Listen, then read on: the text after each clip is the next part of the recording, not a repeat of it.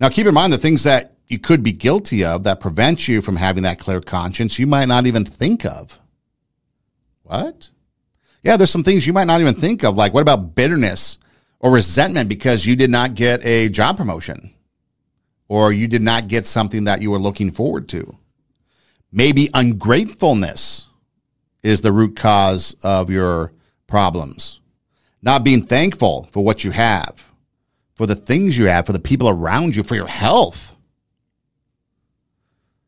Try to switch places with somebody that's not very healthy. I think your perspective on life would change dramatically.